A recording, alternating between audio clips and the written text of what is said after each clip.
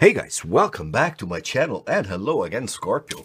Can we read their mind? Yes, we will try. Okay, and just to be clear, let's set the intention here that we are trying to do that with the idea of understanding, you know what, this connection better. Understanding your, you know what, significant suspect prospect, if you will, better. My tools for doing that are going to be a map. Okay, 12 cards are the makers of this map. They are areas of life the way I'm going to begin is random. I will use a 12-sided dice to pull four areas that want to jump out and say something about what this, you know what, love prospect of yours or love connection may be going through. We'll be practical, guys. A lot of times I will adopt their viewpoint. Okay, a lot of times I may say, hey, now I understand this. A lot of times I will say, you know what, you should poke for more questions and more answers. Let's go, Scorpio. We have number four, so that's, you know what, uh, home and family life. I'm looking to pull four uh, first cards. Number four again. The number is eight, transformations, okay. You're familiar with that number. And this is a six, so this is work life. The dot's usually on the bottom. And last but not least, we have, that became six again, seven. Okay, marriages and partnerships, okay. So now let's see. of course, initial messages, I try to ah, paint a picture, an incomplete picture. And then as we turn, we try to un understand more and more.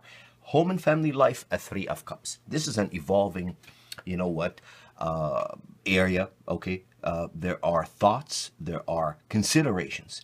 Um, soon to have, soon to have a some kind of a stability though around that thought, around this area of life. So is it about a place we are living? Is it about an improvement we are doing? There's something there. Now, I take this to a uh, partnership as well with you. So I look at the idea of family life that is evolving. And that's going to lead me to say, I wonder how they think. I wonder how they, you know what, consider the idea of the romantic partnership together, especially while I glance at the marriage uh, position here and I see the chariot. This is something that is someone who's being ready, someone who's preparing for taking off, if you will. Now, Scorpio, we glance also at their uh, day-to-day -day services and chores, shall we say work-life, but it's not only about work-life. If we're trying to understand them, it's also their ability to set up, you know, what productivity routines. This is um, day-to-day services and chores, but that could be how, you know, indicative of what they will be as a parent, how they will take on the daily responsibilities, etc., etc.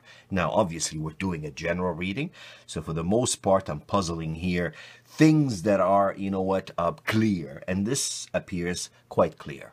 That's an established, happy routine. Um, so knock on wood, hopefully they are well established in what they do at work to a point where they also consider growth. So position seven is for the most part marriages, but also partnerships. Is this someone engaged in, involved with some kind of a business partnership? That can also give us that kind of um, indication, implication, if you will. All right, transformation, well, they're looking to change something. They're looking for new ideas to be acted on. So a busy mind in a way, but really stable in different, uh, you know what, areas as they consider growth, as they consider the concept of a home, the idea of family, and shall we say together. Okay, let's now turn the rest of the cards and see what we got for personality. And here we have our Ten of Cups, Okay, and for values, we have our six of coins. This is the beauty of the Spanish tarot, guys. It's a Marseille and it has some Spanish writing, okay?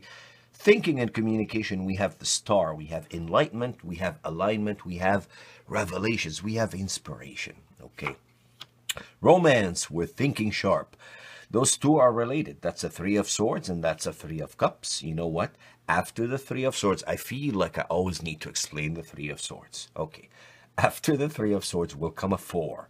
Will come a four when the idea is solid. So when I'm in three of swords mode, it does not mean heartbreak. It means I'm about to make up, you know what, something um, for the long term. I'm about to make a decision. I'm about to have a complete thought form. So it's creativity okay, from a high level rational thinker, if you will. That should not scare us, okay? Um, philosophy, alrighty, and we have the tower moment. It's interesting. So there's higher learning, if you will, spiritual learning, if you will, and they have this fundamental changes there. And in other areas of learning, if you want to say this is up to maybe university or so, they also have a moment of revelation, Scorpio. Interesting. Okay, status and achievement. And we're going to go back, guys. We have an Eight of Cups here. We have, you know what, the element of advancement. They're happy with what they are doing. Social life, we have the High Priestess. Okay, something you are familiar with. Scorpio. it's an energy you can deal with. It's an energy we may not like dealing with, but we can understand. A little secretive, maybe, maybe. Okay, hidden feelings. Then we have the, oh, okay the high priest. It's interesting how in the Spanish tarot they put him as the high priest. Call him the high priest, call him Lee, Lee, call him the uh, Hierophant or the Pope, but the energy is, in a way, secretive. The energy is. Once they called him the high priest, now I'm going to have to say we're a little bit secretive, okay? That's that persona. They have a few things happening around work that keep them busy in terms of thought process, in terms of presentation, well, they will present as romantic. They will present as, you know what, with a full vision of what they like to do. They almost have, um, you know what, their opinions made up on things they want to see in a relationship. Now, values wise, I see someone who is also, in a way, quite organized.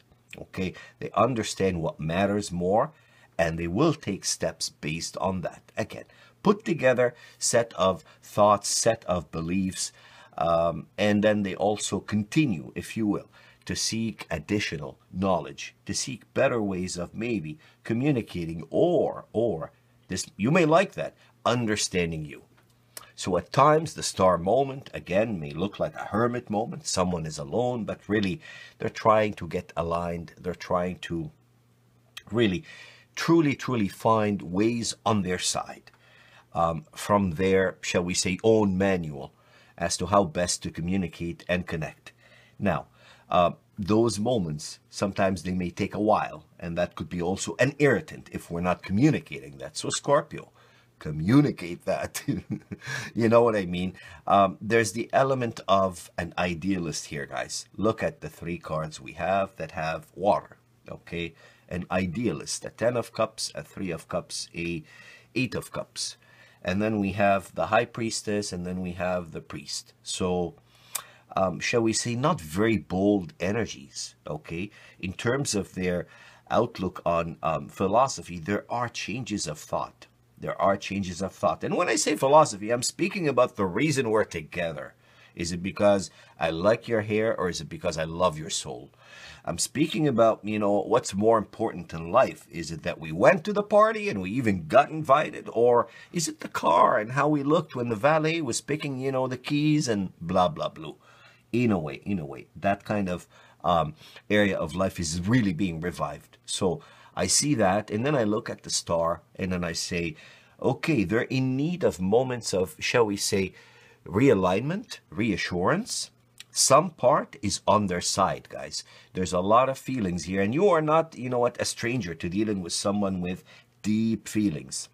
As far as a commitment goes, getting ready, okay?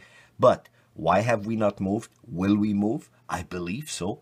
I see just a little bit of clarity here on what the future may take also. There's a page of swords here in terms of how we may make a transformation.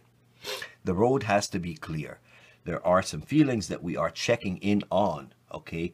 Um, advancement overall in terms of their outlook on their success, they're positive. We have an Eight of Cups here. Now, social life and the area of hidden feelings. Well, in social life, we have the element of, I may not be so engaging. You know what? I trust after a while. I may not be as open, okay, to make such um, connections.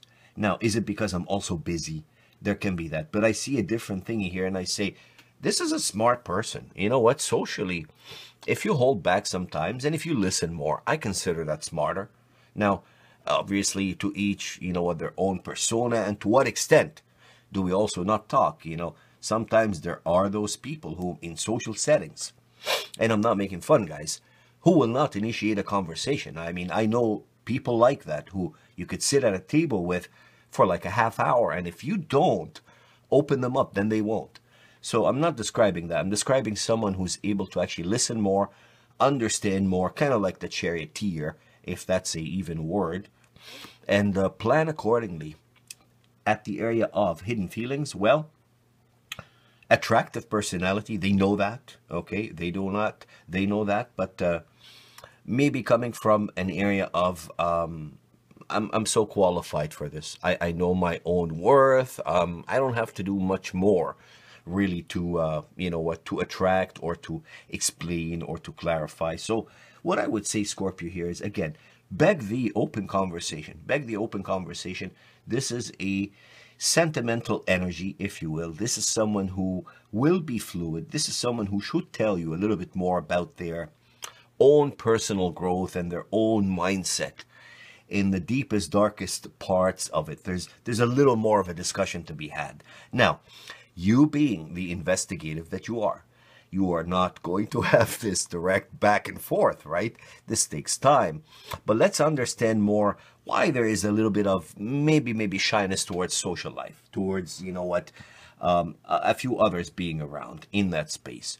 Or is it just a founded opinion on a particular group of people where we do not want to associate? So that could be coming up too.